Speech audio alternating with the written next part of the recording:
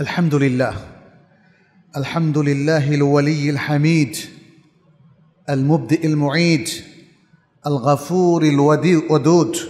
أحمده سبحانه وأشكر له إحسانه وأسأله للجميع عفوه وغفرانه وأن يجيرنا من ناره ويورثنا جنانه. وأشهد أن لا إله إلا الله وحده لا شريك له وحده لا شريك له له الملك وله الحمد وهو على كل شيء قدير. لا إله إلا الله وحده أنجز وعده ونصر عبده وهزم الأحزاب وحده.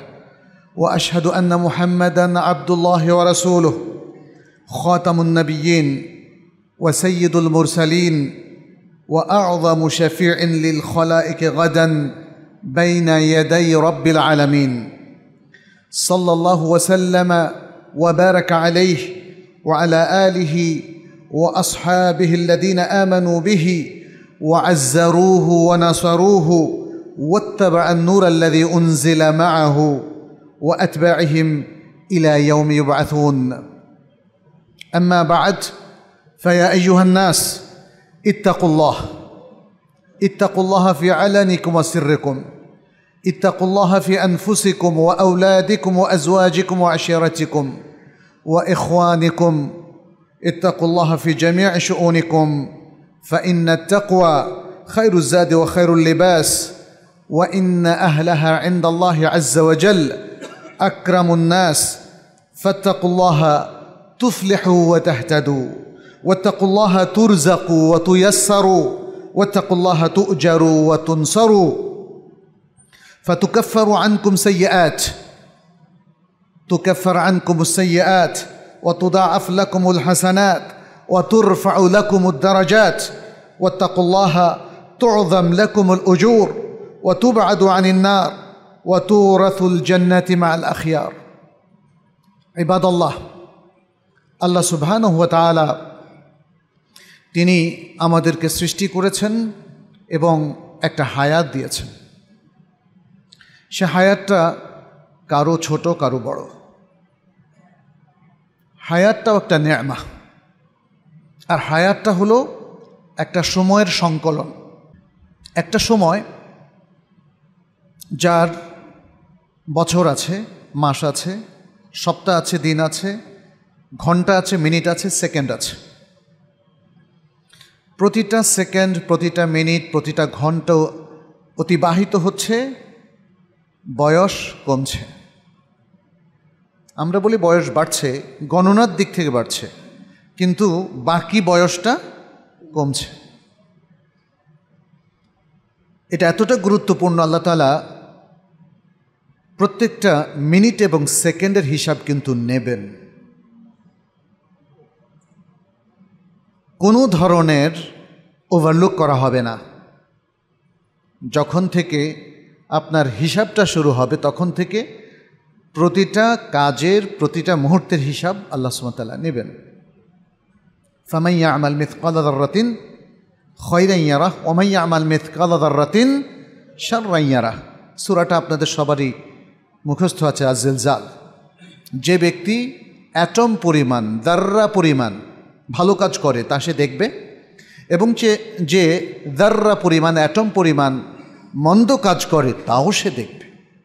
আমাদের অনেকেরই ধারণা, মন্দ কাজগুলো আল্লাহ তালা দেখবেন না।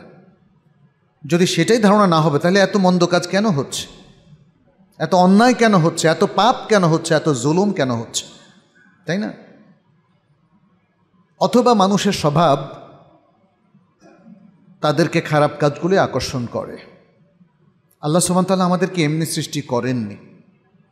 অবশ্যই একটা বিশেষ উদ্দেশ্য রয়েছে। একটা মহান লক্ষ্যকে সামনে রেখে আল্লাহ সুবাহানহ তালা আমাদেরকে সৃষ্টি করেছেন এবং এই হায়াতটা দিয়েছেন। আফ হাসিবতুম আন্নামা ওয়া আন্নাকুম ইলাইনা লা তুরজাউন। তোমরা কি ধারণা করছ যে আমি তোমাদেরকে অনর্থক সৃষ্টি করেছি? কোনো বিশেষ উদ্দেশ্য ছাড়া? আর আমার কাছে তোমাদের ফিরে আসতে হবে না? কখনো এটা নয়, কখনো এটা নয়। সম্মানিত ভাইরা বোনেরা, আমাদের জীবনটা মহামূল্যবান। এদিক থেকে জাল্লাতালা সময়টা আমাদেরকে দিয়েছেন, এখতিয়ারও দিয়েছেন। তিনি দেখতে চান আমরা কীভাবে সময়টা কাজে লাগাচ্ছি। আমরা তার নির্দেশনা কতটুকু পালন করছি এবং পালন করা না করার ভিত্তিতেই আমাদের শেষ ফয়সালাটা হবে। আল্লাহ সুমতালার সৃষ্টি কৌশল অত্যন্ত চমৎকার। তিনি মানুষকে শিশুরূপে সৃষ্টি করেছেন। তারপরে তাকে একটা বয়সে যেটাকে আমরা সবা বলি, অর্থাৎ বালক হওয়ার বয়সে বা বালিকা হওয়ার বয়সে তিনি পৌঁছে দিয়েছেন। তারপরে তারুণ্য এবং তারপরে প্রৌঢ়ত্ব তারপরে বৃদ্ধত্ব এবং বৃদ্ধত্বের পরে আরদালুল অমর বলা হয় এটাকে। অর্থাৎ একটা অসহায় অবস্থা, যখন একজন মানুষ এত বয়সে পৌঁছার পরে এত জ্ঞান, এত অভিজ্ঞান, এত অভিজ্ঞতা, এত কিছুর পরে আবার শিশুর চাইতেও তিনি অধম হয়ে যান। এটাকে বলা হয় আরদালুল অমর জীবনের এরকম একটা পরিক্রমা আল্লাহ তালা আমাদেরকে দিয়েছেন এবং সেটাও তিনি কোরআনে কোট করেছেন। বিভিন্ন জায়গায়, বিভিন্নভাবে আল্লাহ সুবান তাল্লাহ বলেন আল্লাহুল্লাদি খলাকাকুম মিন দাফিন তুম্মা জাআলা মিন বা'দে দাফিন কুওয়াতান তুম্মা জাআলা মিন বা'দে কুওয়াতিন দাফাতান দাফান ওয়া শাইবা। ইয়াখলুকু মা ইয়াশা ওয়া হুয়াল আলিমুল কাদির। সূরাতুর রুমের 54 নম্বর আয়াত। আল্লাহ সুবহানাহু ওয়া তাআলা তোমাদেরকে দুর্বল অবস্থা থেকে সৃষ্টি করেছেন। যখন এতই দুর্বল যে আমাদের কিছুই করার ক্ষমতা ছিল না, তারপর এই দুর্বলতার পর তিনি তোমাদেরকে কৌয়াত দিলেন, শক্তি দিলেন। আবার তোমাদের শক্তির পরে তিনি তোমাদেরকে আবারও দুর্বলতা এবং বৃদ্ধত্ব দান করলেন। ইয়াখলুকুমায় আসা তিনি যা ইচ্ছা সৃষ্টি করেন। ওহুয়াল আলিমুল কাদির, তিনি সর্বজ্ঞানী সব কিছুর উপর তিনি ক্ষমতাবান। আল্লাহ সুবাহতালা আরও বলেন তুম্মা নুখরিজুকুম তৈফলা। সুরাতুল হাজের পাঁচ নম্বর আয়াতে তিনি বলছেন তুম্মা নুখরিজুকুম তৈফলা। অতপর তোমাদেরকে শিশুরূপে আমরা, আল্লাহ যখন আমরা বলেন, তিনি নিজেকেই বোঝান। এটা আরবি একটা উসলুব। কোরআন সে উসলুবটা ব্যবহার করেছে। আল্লাহ কখনো নিজেকে আমি বলেন, কখনো আমরা বলেন।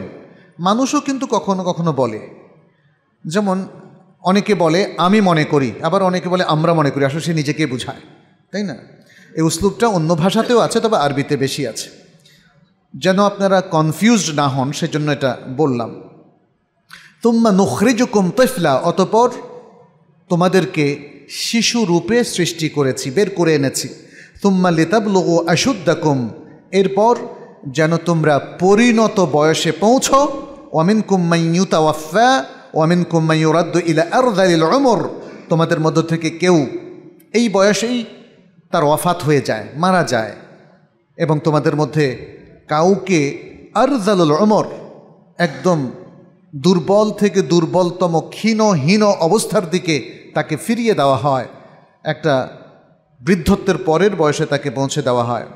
লেকাইলা ইয়া আলামা মিম্বাদ এলমিন সেই আ যেন সে অনেক জ্ঞান অর্জন করার পরেও কিছুই জানে না। এমন হয়, তাই না? বয়সটা এমন যে একটা বয়সে পৌঁছার পরে দেখবেন যে সে অনেক কিছু আর জানে না অথচ একটা সময় কত প্রাজ্ঞ বিজ্ঞ সামর্থ্যবান একজন ব্যক্তি ছিল। আল্লাহ সুমতাল্লাহ সুরা গাফেরের সাতষট্টি নম্বর আয়াতে অনেকটা একই কথা বলেছেন বলেছেন, তুম্মা ইউখরিজুকুম তেফলা অতপর তিনি তোমাদেরকে শিশুরূপে বের করেছেন মানে সৃষ্টি করেছেন। তুম্মা লেতাবলু আশুদ্দাকুম তুম্মা লেতাকুন ও সয়ুখা এরপর যেন, অর্থাৎ তোমাদেরকে তিনি বয়স দিয়েছেন, যেন তোমরা পরিণত একটা বয়সে গিয়ে পৌঁছো এবং যেন এরপর তোমরা বৃদ্ধ হয়ে যাও। অমিন কুম্মাই ইউতাওয়াফা আমিন কাবল তোমাদের মধ্যে অনেকেই পূর্বান্নেই মারা যায়। ওয়ালে তাবলু ও আজালা মুসাম্মা, এবং যেন তোমরা একটা নির্দিষ্ট বয়সে পৌঁছে যাও ওয়ালা আল্লাহ কুমতা কিলুন এবং তোমরা যেন অনুধাবন করো।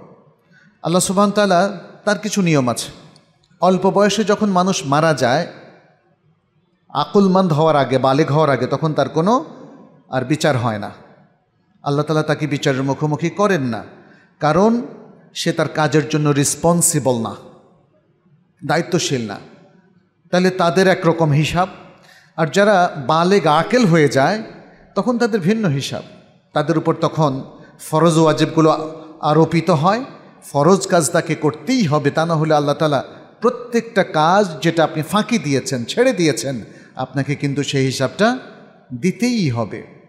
আর প্রত্যেকটা হারাম কাজ এটা বর্জন করতে হবে। যদি করে ফেলেন, তাহলে পাপ হবে এবং কেনই পাপ করলেন, সেই হিসাবটাও আপনাকে আল্লাহর কাছে দিতে হবে। এভাবেই মানুষের জীবনটা আসলে অতিবাহিত হয়ে যায়। সে নিতান্ত অসহায় একজন শিশুরূপে এ পৃথিবীতে পদার্পণ করেছিল আর একটা সময় যদি সে অনেক বয়স পায়, তাহলে সে বৃদ্ধ বয়স পর্যন্ত পৌঁছে, আর যদি বয়স না পায়, তাহলে যে কোনো বয়সে। তরুণ বয়সেও মানুষের মৃত্যু হয় হয় না? অনেক শিশুকেও তো আমরা মৃত্যু বরণ করতে দেখেছি। কেউ পৌর বয়সে মারা যায়, আবার কেউ বৃদ্ধ বয়স পায়। জীবনটা কারোর জন্য বসে থাকে না। এই জীবনের সাথে আমাদেরও উপলব্ধি পরিবর্তন হতে থাকে। সেরিয়ারও বিভিন্ন নির্দেশনা রয়েছে। তবে মনে রাখবেন, যারা আপনারা অনেক বয়স পেয়ে গেছেন আপনাদের সামনে দুটো বড় ধরনের ঝুঁকি আছে। প্রথম ঝুঁকিটা হলো দুনিয়ার সাথে সম্পর্কিত হয়ে যাওয়ার ঝুঁকি। আপনি অনেক বয়স পেলেন, অনেক টাকা হলো, প্রভাব প্রতিপত্তি হলো, এরপর কি হলো? আপনি ভাবছেন, অনেক লম্বা বয়স পেয়ে গেলেন, টাকাটা অর্জনের জন্য আরও আগ্রহী হলেন, এখানে হারাম হালালের কোনো বাজবিচার করলেন না, অন্যদিকে প্রভাব প্রতিপত্তি পেয়েও আপনি সব ভুলে গেলেন, ধরাকে সরা জ্ঞান করলেন না, মানুষের মধ্যে ইনসাফ করলেন না, আত্মীয় স্বজনের অধিকার তাদেরকে দিলেন না, কিংবা আপনার আশপাশের যে মানুষ, প্রতিবেশী কিংবা জনগণ, তাদের অধিকারও আপনি দিলেন না। এভাবে এরকম একটা ঝুঁকি কিন্তু অনেক মানুষের তৈরি হয়, তাই না? এই ঝুঁকিটা ব্যাপক, খুব বড় ধরনের ঝুঁকি। অধিকাংশ মানুষের ক্ষেত্রে আমরা এই ঝুঁকিটা দেখি, যখন সে বিত্ত বৈভব আর প্রভাব প্রতিপত্তি লাভ করে, তখন সে আসলে ভুলে যায় যে সেও অসহায় হবে, সেও আল্লাহর কাছে ফিরে যাবে, তারও মৃত্যু হবে এবং তারও বিচার হবে। এই জিনিসটা মানুষ ভুলে যায়। তার মধ্যে যে দুটো বৈশিষ্ট্য তখন দেখা দেয়, সেটার একটা হলো দুনিয়ার প্রতি তার প্রচণ্ড ভালোবাসা এবং আকর্ষণ। যেটা সে অ্যাভয়েড করতে পারে না। দুনিয়ার প্রতি তার প্রচণ্ড একটা আকর্ষণ। আর দ্বিতীয় হচ্ছে, সে ভাবে সে অনেক বছর বাঁচবে। এটাকে আরবিতে বলা হয় তুলুল আমাল, তার আশা বেড়ে যায়। কিন্তু কোনো দলিল ছাড়াই, তাই না? কে বলতে পারবে যে সে অনেক বছর বাঁচবে বলেন? আপনি যত বড় ব্যক্তি বা যত ধনী ব্যক্তি আপনি হন না কেন? তাহলে দুটো জিনিস। এক, দুনিয়ার প্রতি ভালোবাসা এবং আকর্ষণ, এবং আরেকটা হলো অনেক বড় আশা, অনেক দিন বাঁচার আশা তার তৈরি হয়। ফলে সে তার উপর যে দিনই দায়িত্বটা আছে, দিনই নির্দেশনাটা আছে, আল্লাহ সুবাহানহতালা তার উপর যে ফরজ ওয়াজিবগুলো দিয়েছেন, এটাও সে কিন্তু ভুলে যায়। এটা সে আর পালন করতে পারে না। নানা রকম ব্যাখ্যা দিয়ে বলে, এটা একটা ব্যক্তিগত ব্যাপার, আমি পালন করলে করলাম, না করলে নাই। কিন্তু ব্যাপারটা মোটেই তা নয়। আল্লাহ সুবাহতাল্লাহ দেখেন কি বলছেন? সুরাতু ফাতের পাঁচ এবং ছয় নম্বর আয়াত। ইয়া ইউহান্নাস হে মানুষেরা, ইন্না ওয়াদ আল্লাহ হাক্কুন। নিশ্চয়ই আল্লাহর প্রতিশ্রুতি সত্য। ফালা তাগুরান্না কুমুল হায়াতুদ দুনিয়া ওলা ইয়াগুরান্না কুম বিল্লাহিল গারুর। ফলে দুনিয়ার জীবন যেন তোমাদেরকে প্রতারিত না করে এবং আল্লাহর ব্যাপারে কোনো প্রতারকও যেন তোমাদেরকে প্রতারিত না করে। কেউ যেন তোমাদেরকে ধোকা না দেয়। ইন্না শয়তান আলাকুম আদুউন, ফাত্তাখিযুহু আদুয়া নিশ্চয়ই শয়তান তোমাদের জন্য শত্রু। ইন্না শয়তান আলাকুম আদুউন, ফাত্তাখিযুহু আদুয়া শয়তান তোমাদের শত্রু, অতএব তাকে শত্রু রূপেই তোমরা গ্রহণ করো। কেন আল্লাহ তালা কথা বললেন? কারণ শয়তানকে অনেকে বন্ধু বানিয়ে ফেলে। ফাত্তাখিযুহু আদুয়া ইন্নামা ইয়াদউ হিজবাহু লিয়াকুনু লিয়াকুনু মিন আসহাবিস সাঈর. নিশ্চয়ই সে তার দলকে আহ্বান করে যেন তারা প্রত্যেকেই জাহান্নামের অধিবাসী হয়। শয়তান তার বন্ধুদেরকে এমন দিকে পথ দেখায় যাতে সেই পথ অতিক্রম করার পরে সে কি হয়? জাহান্নামি হয়। এই পথের মধ্যে সে অনেক অন্যায় করে। অনেক হারাম কাজ করে, অনেক জুলুম করে, অনেক ভুল ত্রুটি সে করে। এই পথটা যখন সে অতিক্রম করে, ফলে এই পথের, পথটা যখন শেষ হয়, তখন সে তার নিজেকে কোথায় আবিষ্কার করবে? জাহান্নামে। এটা আল্লাহ তালা বলছেন, ইন্নামা ইয়াদ ও হিজবাহু লিয়াকুনু মিন আসহাবিস সাঈর। সে তার দলকে ডাকতে থাকে, আসো আসো, আমার দলে আসো, আমার সাথে কাজ করো, আমার সাথে কাজ করো। যেন পরিণাম ফল কি হয়? সবাই জাহান্নামি হয়ে যায়। তো এইটা খুব কঠিন একটা কথা। কোরআনের এই বক- বক্তব্যগুলো অনেক সময় আমরা তেলাওয়াত করি কিন্তু বুঝি না। ফলে বক্তব্যটা মিস হয়ে যায়। এই যে শয়তানের এই গল্পটা আল্লাহ তালা আমাদের সামনে উপস্থাপন করলেন, এটা কি একটা কিস্সা কাহিনীর রূপে উপস্থাপন করলেন নাকি আমরা যাতে সতর্ক হই? আমরা যাতে সতর্ক হই। অতএব শয়তানের দলে কখনোই যোগদান করা যাবে না। তার পথে কখনো চলা যাবে না, কারণ তার পথে চললে তার পরিণাম একটাই, সেটা হলো জাহান্নামি হওয়া। আর যাতে আমরা তা না হই, পৃথিবীতে সতর্ক অবস্থানে থাকি, যেন আমরা এই যে আমাদের একটা জীবন আল্লাহ সুবাহতাল্লাহ দিয়েছেন, সেই জীবনটা বুদ্ধিমত্তার সাথে আমরা যেন কাটাতে পারি, বুদ্ধিমত্তার সাথে কাজে লাগাতে পারি, সেজন্য রসুল সাল্লাহ সাল্লামও অনেক সুন্দর সুন্দর হাদিসে আমাদেরকে ছোট ছোট নির্দেশনা দিয়েছেন। কারণ বড় বড় কথা বললে তো মুখস্থ থাকে না। আবার বুঝেও আসে না। খুব সুন্দর সুন্দর কথা বলেছেন। এগুলো আপনারা একটু মনে রাখবেন ভাই। আজকে যারা এখানে উপস্থিত হয়েছেন, অনেকেই ভাবছেন যে কথা তো শুনি। অনেক মানুষ বা অধিকাংশ মানুষ এক কান দিয়ে শুনে আরেক কান দিয়ে বের করে দেয়। কারণ আমরা যারা কথা বলি, আমরা আপনাদেরকে মানতে বাধ্য করি না। ফলে আপনাদের অনেকেই মনে করেন যে এটা মানতে তো বাধ্য নই আমি। উনি, এটা আমাদের রিচুয়াল জমার আগে একটু খোদবা শোনা। শুনলাম, আবার অনেকে দেখলাম যে ঘুমান। ঘুম কেন আসবে আপনার? কোনো ফজিলতের হাদিস দেখান তো জুমার দিন, খতিব যখন খোদবা দেন আর যিনি ঘুমান তার অনেক ফজিলত। বলেন আমাকে। তাহলে এই ফজিলত যদি না থাকে, আপনারা কেন সেই ফজিলত অর্জন করতে চান? বানোয়াট একটা ফজিলত। খাতিবের সামনে ঘুমাতে হবে? হ্যাঁ? আশা করি ঘুমাবেন না। আচ্ছা অনেকে হয়তো বলবেন যে আমার ঘুম তো ইচ্ছে করে আসে না। ইচ্ছার বিরুদ্ধে আসে। পরীক্ষার হলে ঘুমান কেউ বলেন? কে কে পরীক্ষার হলে ঘুমান? একটু হাত তোলেন। বা জীবনে এসএসসি পরীক্ষার ঘুমেই কাটিয়ে দিয়েছেন, এরপরেও পাশ করেছেন। পৃথিবীটাকে পরীক্ষার হল না? আরও গুরুত্বপূর্ণ পরীক্ষার হচ্ছে জুমার দিন। মনে রাখবেন, এখানে শেখার বিষয়। এখানে সজাগ থেকে বক্তব্যগুলো অনুধাবন করার বিষয়। ঘুমের জায়গা এটা না। আজকে যখন আপনাদের সামনে আমি জীবনটাকে কাজে লাগানোর কথা বলছি, সতর্ক থাকার কথা বলছি, নষ্ট না করার কথা বলছি, তখনও যদি ঘুমান, কি হবে বলেন তো? কোথাও কোনো জনপদে যখন শত্রু আক্রমণ করে, আর মানুষ বলে একটু ঘুমিয়ে নেই, এটা কি কোনো বুদ্ধিমানের কাজ হতে পারে? অতএব ঘুমাবেন না। মাত্র চল্লিশ মিনিট, পাঁচচল্লিশ মিনিট আমরা কথা বলছি, এখানে ঘুমাবেন না। ঘুমানোটা অ্যালাউড না, আশা করি মনে রাখবেন। রসুল্লাহ সাল্লাহ সাল্লাম বলেছি, আমাদের জীবনটাকে সতর্কভাবে এবং কোন পলিসিতে আমরা এই জীবনটা কাটাবো, সেটা খুব ছোট্ট ছোট্ট কথায় আমাদেরকে বলে দিয়েছে। এর মধ্যে একটা মাস্টার পিস চমৎকার একটা কথা হলো, কুন ফি হাদহি দুনিয়া কা আন্না কা গারিবুন আও আবিরু ছোট্ট কথা। এই দুনিয়াতে তুমি এমনভাবে বসবাস করো, থাকো, যেন তুমি একজন আগন্তুক। কুন ফিহাদে দুনিয়া কান্নাকা গারিবন একজন আগন্তুক, নতুন ব্যক্তি, এই জনপদে তোমার কোনো বাড়ি নাই, কেউ তোমাকে চেনে না। তুমি এসেছ, নিশ্চয়ই কারোর সাথে দেখা করতে? অথবা কারও বাসায় মেহমান হয়ে? তাহলে এই মেহমান কতক্ষণ থাকে বলেন? এখনকার ব্যস্ত জীবনতে আসার আগে বলে আমি চলে যাব।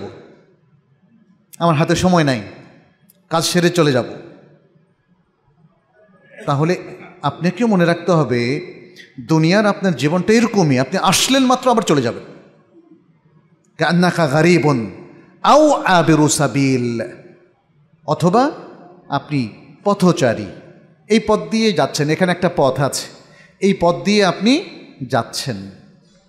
আপনি কি বলবেন আচ্ছা এই পথটা তো ভালোই লাগল, আমি চলে সারা জীবন এখানে থেকে যাই পথে? এই কাণ্ডটা ঘটতে দেখেছেন কখনো? তাহলে রাসুল সাল্লাহ সাল্লাম আমাদেরকে একটা পলিসি দিলেন স্ট্র্যাটেজি দিলেন যে কীভাবে আমরা এই পৃথিবীতে যাপন করব। তাহলে পথের মধ্যে যেমন আপনি একটা বাড়ি তৈরি করে ফেলবেন না, একটা ফ্ল্যাট তৈরি করে ফেলবেন না ইভেন একটা কোড়ে ঘরও তৈরি করবেন না, কারণ আপনি জানেন যে এই পথ তো আপনি অতিক্রম করে চলেই যাচ্ছেন। কিন্তু পৃথিবীর মানুষ দেখেন কি ডেঞ্জারাস সে এই পথের মধ্যে বাড়ি তৈরি করে ফেলে এবং মনে করে যে সে অনেক দিন বাঁচবে এখানেই তার বাসস্থান। সে মনে করে এটা তার পারমানেন্ট রেসিডেন্স পারমানেন্ট বাড়ি, স্থায়ী নিবাস। পৃথিবী কি কারও স্থায়ী নিবাস? বলেন। কত বছর থাকলে স্থায়ী নিবাস বলা যায়? এই পৃথিবীতে এই জনপদে আপনি দেখবেন একশো বছরের বেশি বয়সী মানুষ কয়জন? হাতে গোনা যাবে না? হাতে গুনে বের করাটা কঠিনই হবে। তাই না? সুতরাং আমাদেরকে এইভাবেই যেতে হবে। রাসুল সাল্লাহ সাল্লামের এই কথার উপরে নর্মর খুব চমৎকার একটা কথা বলেছেন। তা সাহি বুখারির বর্ণনা। বলেছেন, দেখো, রাসুল সাল্লাহ সাল্লাম যে কথাটা বললেন, তার মর্মার্থ হলো এই যে যখন তুমি সন্ধ্যায় পৌঁছবে, তখন আশা করো না যে প্রভাত পর্যন্ত তুমি বেঁচে থাকবে। তাহলে সেভাবে জীবনটাকে যাপন করো। মনে করবা যে আমার এই সময়টার পরে আমি বেঁচে নাও থাকতে পারি। আর যখন তুমি প্রভাতে পৌঁছবে, তখন এই আশা করো না যে তুমি সন্ধ্যা পর্যন্ত বেঁচে থাকবে। কি চরম একটা বাস্তব কথা বললেন, কি সুন্দর একটা কথা বললেন। কারণ এই জিনিসগুলো তো আমাদের মাথায় থাকে না। আপনি একটা চমৎকার মার্সিডিস গাড়ি দিয়ে বের হলেন আর প্ল্যান করলেন আজকে কি করবেন, কালকে কি করলেন, পথে অ্যাক্সিডেন্টে যদি মারা যান এটা কি আপনার মাথায় ছিল? কিন্তু মাথায় রাখা উচিত না? উচিত। তাহলে দেখবেন যে আপনার মধ্যে সেই ভয়টা কাজ করবে এবং আপনি জীবনটাকে সংযত এবং নিয়ন্ত্রিত রাখবেন। আর যদি সেটা না করেন, তাহলে আপনি তো মানে ভালো মানুষ হওয়ার সম্ভাবনা কম, বিশেষ করে মার্সিডিসের মালিক আপনি। তাই না? আল্লাহ আমাদেরকে রক্ষা করুন। দ্বিতীয় যে খতর বা ঝুঁকি প্রথমটা তাহলে আমরা বললাম দুনিয়ার সাথে কানেক্টেড হয়ে যাওয়া। এবং এর মধ্যে দুটো জিনিস বললাম, একটা হলো দুনিয়ার প্রতি ভালোবাসা এবং আরেকটা হলো অনেক দিন বেঁচে থাকার আশা পোষণ করা। দ্বিতীয় যে খতর, সেটা হচ্ছে গাফলতি। অনেক দিন বেঁচে থাকতে থাকতে আমাদের মধ্যে একটা গাফলতি চলে আসে। অল্প সময় পেলে, আপনি যদি অল্প সময় থাকেন, তাহলে অল্প সময়ের মধ্যে অনেক কাজ করে ফেলেন। আপনার জানা আছে যে অল্প সময়। মাইন্ডে যদি থাকে যে অল্প সময়টাকে কাজে লাগাতে হবে। কিন্তু আপনি যদি বলেন আপনার অফুরন্ত সময়, তখন আপনার প্রবলেম দেখা দিবে যে এই সময়টাকে কাটাবো কীভাবে? অনেক লোক অবসর গ্রহণের পরে কীভাবে কাটাবে জানে না। যারা ষাট বছর বয়সে অবসর গ্রহণ করে বিভিন্ন কাজ থেকে, তখন তার অনেক সমস্যা তৈরি হয়। এটা হচ্ছে আসলে ফুললি মাইন্ড সেটিং মাথায় যদি আপনার ঢুকে যে আপনার অনেক সময় তখন আপনি কাজ পাবেন না। ছোট ছোট বাচ্চাদেরকে দেখছি বলতে, মা বাবাকে বলে, কি করব কি করব? কারণ ওর করার কাজ নাই। আর মা বাবাও প্যারেন্টিং অর্থাৎ তাদের তারবিয়াতের ক্ষেত্রে এমন কোনো সুন্দর নির্দেশনা দেন নাই যে তারা কীভাবে কাজে লাগাবে। আপনি তাকে একটা সুরাতে লাগাই দিতে পারেন, শুনতে পারে, অথবা কিছু লিখতে পারে। সেটা না করে তার হাতে অফুরন্ত সময়। কি করবে? বিরক্ত। যে কী করব, কি করব? তখন সে আস্তে আস্তে খারাপ দুরন্ত ছেলেদের সাথে মিশে নষ্ট হয়ে যেতে থাকে। তাহলে এখানে আমরা যদি গাফেল হই, এই গাফলতির কারণে কিন্তু পাপ এসে আমাদের উপর ভর করবে। শয়তান আমাদেরকে দখল করে ফেলবে। আপনি যদি গাফেল হন, শয়তান আমাদের শত্রু, একটু আগে শুনলেন না একটা আয়াতে? তাহলে শত্রু কি বসে থাকে? শত্রু কোনো দিন বসে থাকে না। আপনি গাফেল হলে আপনার শত্রু আপনাকে দখল করে ফেলবে। আপনি গাফেল হলে ফেসবুক আপনাকে দখল করে ফেলবে। আপনি দাখিল গাফেল হলে টিভি আপনাকে দখল করে ফেলবে, নাটক, সিনেমা আপনাকে দখল করে ফেলবে, খেলাধুলা, ফুটবল, ক্রিকেট আপনার মাইন্ডটাকে একদম সিজ করে ফেলবে। তখন আপনার জীবনটা দেখবেন, বিশেষ করে তরুণদের মধ্যে যারা ক্রিকেটের ভক্ত, সারা দিন শুধু ক্রিকেট আর ক্রিকেট, পরীক্ষার রাতও তাকে বাধা দিয়ে রাখা যাবে না। ওই দিনের খেলাও তাকে দেখতেই হবে। আপনি বুঝতে পেরেছেন? দিস ইজ কল্ড গাফলাত। এটাকে বলা হয় গাফলতি। এই গাফলতির কারণে কি হয়? আল্লাহ সুমতাল্লাহ সেটা সুরাল মোতাফিফিনের মধ্যে তুলে ধরেছেন। বলেছেন, কাল্লা বাল রানা আলা কলুবিহিম মা কেন ইয়াকসিবন। তারা যে কাজগুলো করতো, যে অর্জনগুলো তাদের আছে, তাদের বিভিন্ন কর্মকাণ্ডের কারণে সেই অর্জনগুলো তাদের অন্তরকে আবৃত করে দেয়, ঢেকে ফেলে। তখন তাদের ওই কর্মকাণ্ডেই সে সারাক্ষণ ব্যস্ত থাকে, যেগুলো অনর্থক, যেগুলো পাপের কাজ যেগুলো অন্যায় কাজ, তখন সেগুলোই সার্বক্ষণিক তার কাজ হয়ে যায় এবং তার অন্তরের ভালো দিকটা আবৃত হয়ে যায়। সুতরাং এভাবেই আমরা দেখি যে মানুষ অল্প অল্প পাপ করতে থাকে, সব গাফলাতি থেকে সৃষ্ট। এরপরে সে বড় পাপে সম্পৃক্ত হয় আর অল্প অল্প পাপও কিন্তু অনেক সময় জমতে জমতে অনেক বড় হয়ে যায়। অল্প অল্প পয়সা ব্যাংকে যখন জমান মাটির ব্যাংকে, এরপর দেখবেন যে সেগুলো অনেক বেশি হয়ে যায়। আর মানুষ যখন পাপ করতে করতে অন্তরটা তার আবৃত হয়ে যায়, তখন সে অন্যের অধিকারও ক্ষুণ্ণ করতে থাকে। অন্যকে অসম্মান করে, তার ইজ্জাতের উপর হামলা করে, তার সম্পত্তির উপর হামলা করে এবং সেগুলোকে যে কোনো ছলে বলে কৌশলে করায়ত্ত করার চিন্তা ভাবনা তখন তার মধ্যে গালিব হয়ে যায়। এভাবে একজন মানুষ, দেখেন, শুরুতেই কিন্তু বড় পাপি হয় না। কিন্তু আস্তে আস্তে সে বড় পাপি হয়ে যায়। এভাবে তার সমস্ত ভালো কাজ কিন্তু বাতিল হয়ে যায়। আপনারা কেয়ামতের সেই দৃশ্যের কথা জানেন যেটা রাসুল সাল্লাহ সাল্লাম আমাদের সামনে উল্লেখ করেছেন, বলেছেন, মানুষের মধ্যে এমন অনেক ব্যক্তি কেয়ামতের দিন অনেক নেকি নিয়ে আসবে, কিন্তু হয়তো সে একে গালি দিয়েছে, ওকে প্রহার করেছে অন্যকে হত্যা করেছে, কারও উপর চড়াও হয়েছে, অন্যের হক নষ্ট করেছে। ফলে এত সব কার্যক্রমের মধ্য দিয়ে কি হলো? তার সমস্ত হাসানাত চলে গেল। কারণ আমরা জানি যারা অন্যের হক নষ্ট করেন, তাহলে কেয়ামতের দিন প্রথম যে কাজটা করা হবে, তার নেকিগুলো অন্যদের মধ্যে বন্টন করে দেওয়া হবে। ওই দিন কি আর টাকা পাওয়া যাবে? দুনিয়াতে যা ঘটেছিল, তার অনুরূপ ঘটনা যদি ওখানে ঘটানো হয়, তাতে অন্যরা তো উপকৃত হবে না, হবে? দুনিয়াতে ধরেন একজনের এক কেজি চাল নিয়ে গেছে। তো কেয়ামতের দিন চাল দিয়ে কি করবে সে? কেয়ামতের দিন কি দরকার? নেকি দরকার। এটা মানুষে না বুঝলেও আল্লাহ কিন্তু তার সিস্টেমের মধ্যে রেখে দিয়েছেন। আল্লাহর সিস্টেমটা এত নিখুঁত, কারও প্রশ্ন করার কোনো সুযোগ নাই। বুদ্ধিবৃত্তিক প্রশ্ন করারও সুযোগ নাই। কারণ আল্লাহ যা করেন, সবই হক পন্থায় করেন। সবই বুদ্ধির চাহিদা অনুযায়ী করেন। এজন্য আল্লাহর বিধানকে বুঝতে হলে আকলমান হতে হবে, বুদ্ধিমান হতে হবে। আল্লাহ সুমান তাল্লাহ জন্য সবসময় অ্যাড্রেস করেন বুদ্ধিমানদেরকে। আর যে আয়াতগুলো, যে নিদর্শনগুলো বর্ণনা করেন, সেটাও তিনি বলেন লেকাউমি ইয়াকিলুন বুদ্ধিমানদের জন্য। লেকাউমি ইয়াতাফাক্কারুন যারা চিন্তা ভাবনা করে তাদের জন্য। যারা উলুল আলবাব, তাদের জন্য। বুঝতে পেরেছেন? তাহলে আল্লাহর এই সিস্টেমের মধ্যে আমরা যেটা দেখতে পাচ্ছি, তিনি যৌক্তিক ব্যবস্থাপনাই তিনি উপহার দিবেন। ফলে ওই দিন নেকির বন্টন হবে। দুনিয়ার জিনিসগুলো হুবহু সেদিন চিত্রস্থ করা হবে না। আচ্ছা এখন ওই ব্যক্তির সমস্ত নেকি যা ছিল শেষ হয়ে গেল। এখন কি হবে? তারও কিন্তু ফয়সালা দেওয়া হয়েছে। সেটা কি? তখন অন্যদের পাপগুলো তার উপর চাপানো হবে।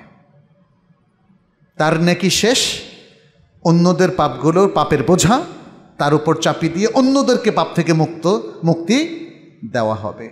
তাহলে এই বেচারার কি অবস্থা হবে বলেন তো? সুতরাং আমরা বলব, আর কোনো গাফলতি নয় প্রিয় ভাইয়েরা। এখনও সময় আছে, যারা এখনও জীবিত আছেন, হুঁশ আছে, তারা সময়টাকে কাজে লাগান, সত্যের দিকে ফিরে আসেন। জীবনটা অনেক মূল্যবান।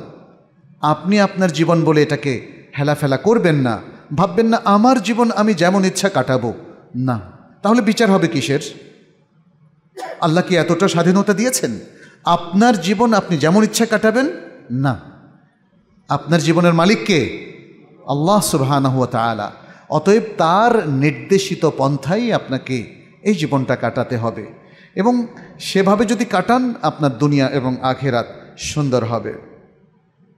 আচ্ছা তাহলে আমাদের কাছে এই যে কথাগুলো বললাম, এই কথাগুলোর মূল সারাংশের দাবি হলো যে আমরা আখিরাতের জন্য এই জীবনটাকে কাজে লাগাব।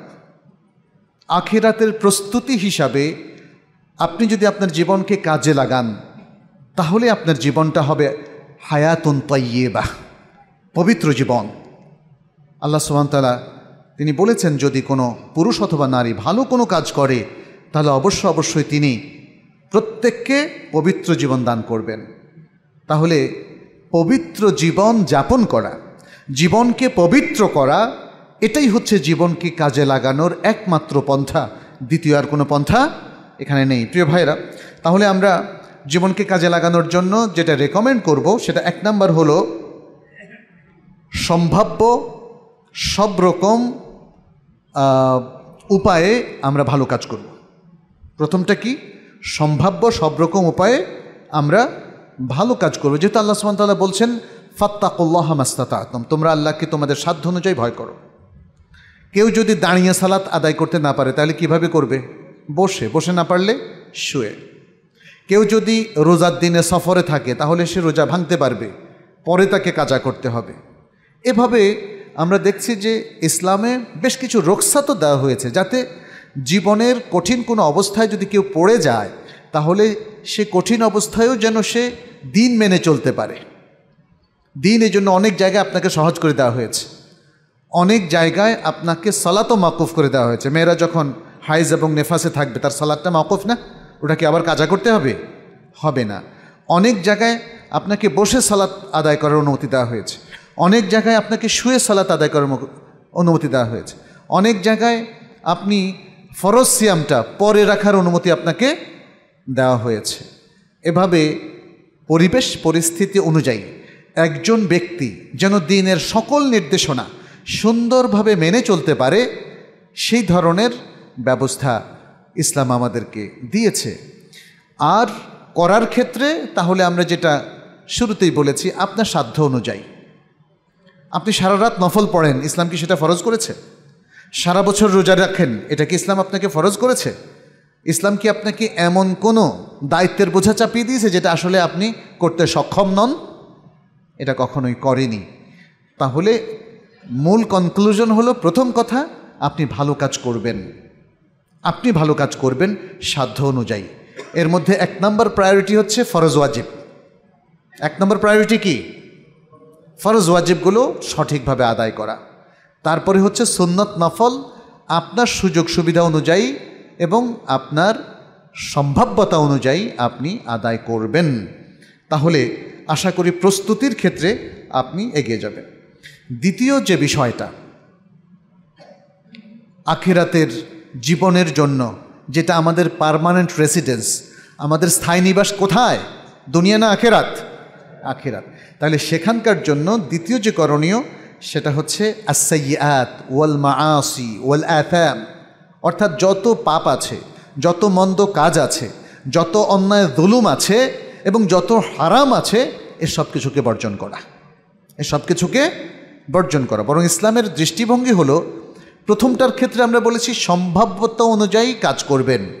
কিন্তু পাপ বর্জনের ক্ষেত্রে সম্ভব হলে পাপ বর্জন করবেন, না হলে করে ফেলবেন, এর কোনো সুযোগ নাই। কারণ যে কোনো কাজ করতে গেলে আপনার প্ল্যান লাগে, খরচ লাগে শ্রম লাগে।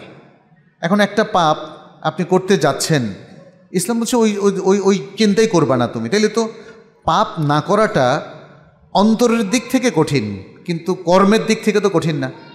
চুপ করে বসে থাকেন তাহলে পাপ হলো না। আপনি সিনেমা দেখতে যেতে চান, গেলেন না। আপনি কারও উপর জুলুম করতে চান, সে জায়গায় গেলেন না। তাকে প্রহার করলেন না, তার উপর আক্রমণ করলেন না, তাই না? তাইলে পাপটা শুধু বর্জন করা। বর্জন করাটা করার চাইতে সহজ। বর্জন করাটা করার চাইতে সহজ। এই জন্য ইসলাম বলেছে, যে কোনো পাপকে সর্বতোভাবে এবং সর্বাত্মকভাবে বর্জন করতে হবে। এটা আখেরাতের অন্যতম প্রস্তুতি। বরং আপনার সওয়াবের কাজ যদি কম হয়, তাতে সমস্যা নাই। কিন্তু অন্য মানুষের অধিকার ক্ষুণ্ণ করা বা পাপ কাজ করা, এটা ইসলাম ভয়াবহ আকারে দেখে। অতএব আমাদের দ্বিতীয় কাজটা হচ্ছে, আমরা সকল পাপকে বর্জন করব, বিশেষ করে যে পাপগুলো মানুষের অধিকারের সাথে সম্পৃক্ত। স্ত্রীর অধিকার, স্বামী নষ্ট করতে পারবে না। স্বামীর অধিকার স্ত্রী নষ্ট করতে পারবে না। বাবা মায়ের অধিকার সন্তান নষ্ট করতে পারবে না। সন্তানের অধিকার বাবা মাকে অবশ্যই রক্ষা করতে হবে। প্রতিবেশীর অধিকার অন্য প্রতিবেশীদেরকে রক্ষা করতে হবে। মানুষের অধিকার অন্য সকল মানুষকে রক্ষা করতে হবে। প্রত্যেকের জান, মাল পবিত্র। এটা রাসুল সাল্লাহ সাল্লাম বিদায় হজের দিন ঘোষণা করেছেন। বলেছিলেন, তোমাদের জান, তোমাদের মাল তেমনি পবিত্র এবং তোমাদের ডিগনিটি এবং সম্মান, ইজ্জাত ততটাই পবিত্র যতটা পবিত্র আজকের এই মাস, আজকের এই দিন, আজকের এই জায়গা। তাই না? পৃথিবীর সবচেয়ে পবিত্র হলো সেই দিনগুলো, হারাম মাস, সেই সময়গুলো এবং আমাকে আলান মকাদ্দাসা, মক্কা, মদিনার সেই জায়গাগুলো যেটাকে আমরা আল হারামাইন বলি, সবচেয়ে পবিত্র। সেটা যতটা পবিত্র পৃথিবীর তাবৎ মানুষের জানমাল ততটাই পবিত্র। অতএব এই পবিত্র জায়গায় হাত দেওয়ার অধিকার কারও নাই। তাহলে বোঝা গেল, আখিরাতের জন্য পূর্ব প্রস্তুতি রূপে আমাদেরকে দুই প্রকার হারাম থেকে বেঁচে থাকতে হবে। এক, আল্লাহর হক সম্পর্কিত কোনো লঙ্ঘন করা যাবে না। দুই, আল্লাহর বান্দার হক সম্পর্কিত কোনো লঙ্ঘন করা যাবে না। তৃতীয় যে বিষয়টা মাশারাল মুসলিমিন, সেই বিষয়টা হচ্ছে আল্লাহর কাছে এই আশা করা যে আল্লাহ আমার জীবনটা যদি কল্যাণকর হয়, তাহলে তুমি আমার জীবনটা বাড়িয়ে দাও। আমাকে লম্বা জীবন দান করো। আর যদি তোমার এলেমে এটা থাকে যে আমি পরবর্তী জীবনে খারাপ কিছু করব, তাহলে তুমি আমার জীবনের অবসান করে দাও। এমন দোয়া রাসুল সাল্লাহ সাল্লাম আমাদেরকে শিখিয়েছেন। যেমন সালাতের পরের যে দোয়াগুলো আমরা পড়ে থাকি, তার মধ্যে একটা দোয়া হচ্ছে, আল্লাহুম্মা আহইনি, আল্লাহম্মা আহইনি, হে আল্লাহ আমাকে জীবিত রাখুন, মা আলেম তাল হায়াতা খয়রানলি আপনি যদি জানেন যে জীবনটা বা জীবিত থাকাটা আমার জন্য উত্তম হবে ওয়াতাওয়াফানি ইদা ক্যানাতিল ওয়াফাতু খয়রানলি আর আমাকে অফাত দান করুন, যদি আপনি জানেন যে অফাতটা আমার জন্য উত্তম হবে।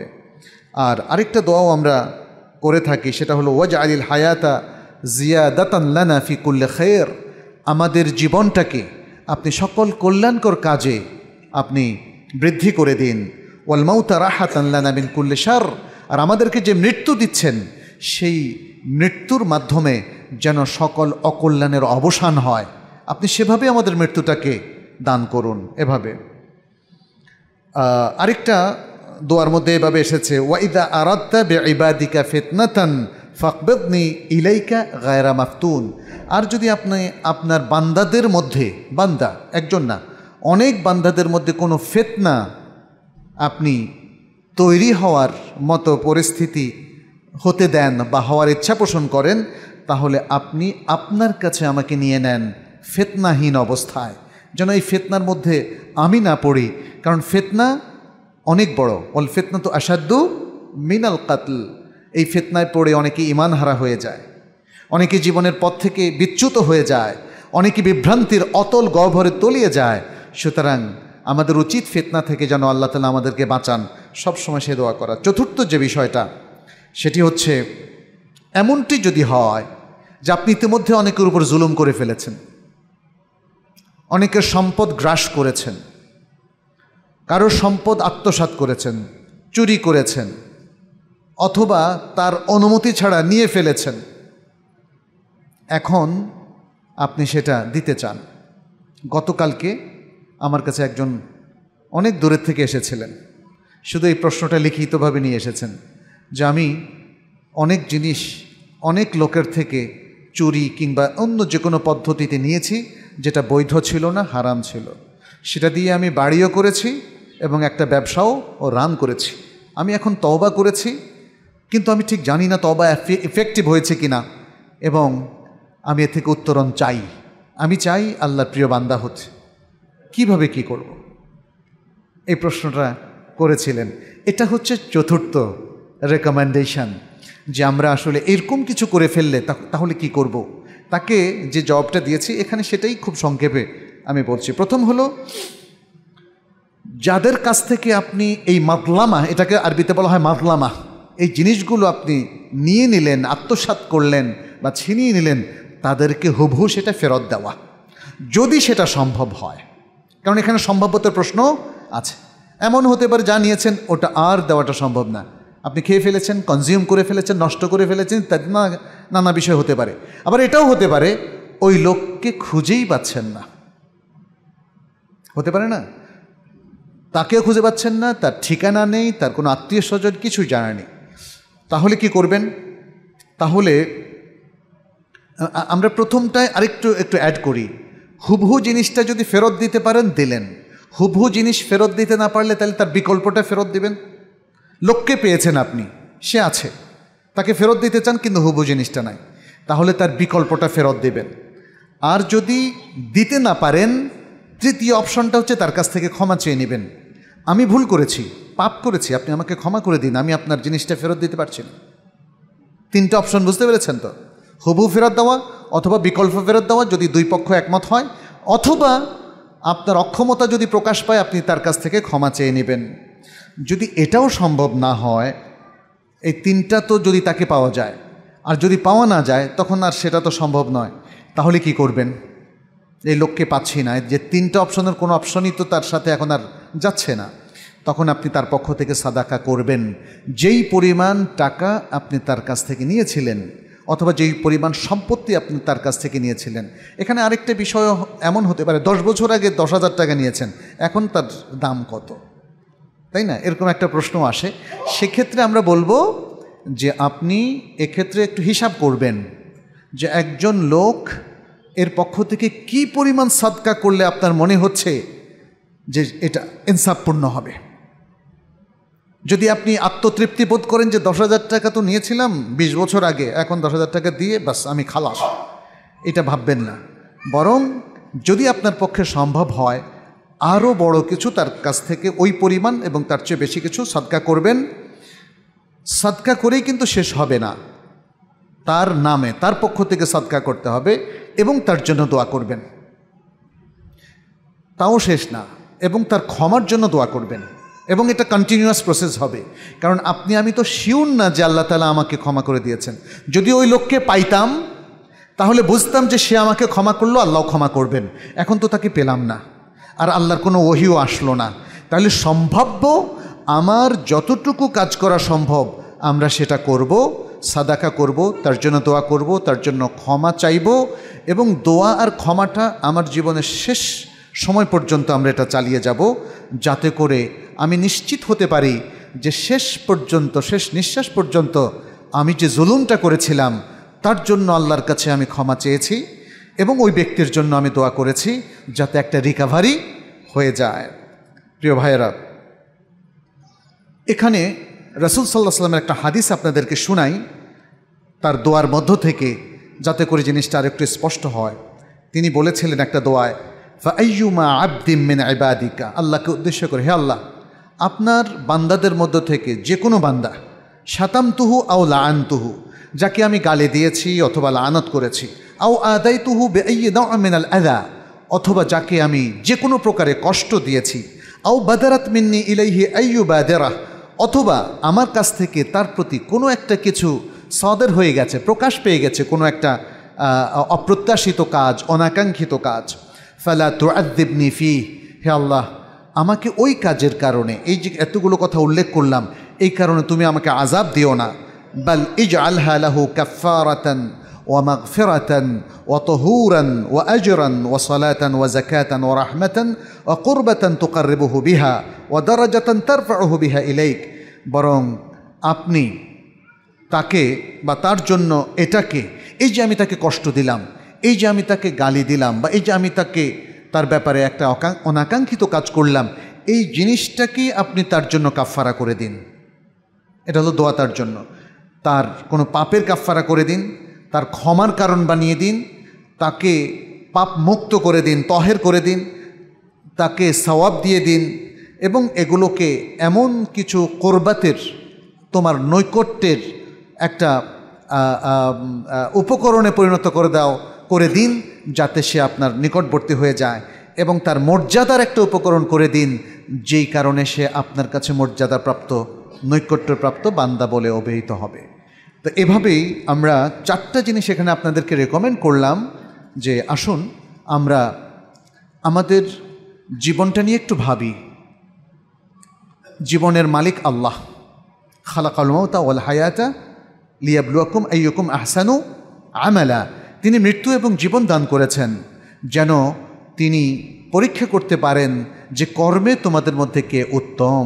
সুরামুলকের মধ্যে বলে দিয়েছেন, অতএব জীবন মৃত্যুর মালিক কিন্তু আমরা নই, আল্লাহ সুবাহানা হুয়া তালা আর আমাদের এই যে জীবনটা আছে, এই জীবনটাকে আপনি যেমন ইচ্ছা তেমন ব্যয় করতে পারেন না, প্রিয় ভাইরা এটাকে অবশ্যই আল্লাহর পথে ব্যয় করতে হবে, আল্লাহর নির্দেশনার আলোকে ব্যয় করতে হবে, কোরআন সন্ন্যার পথে আমাদেরকে চলতে হবে এবং যে প্রস্তুতিগুলো নেয়ার জন্য চারটা বিষয় আমরা উল্লেখ করেছি, আসুন সেভাবে আমরা জীবনটাকে সাজাই।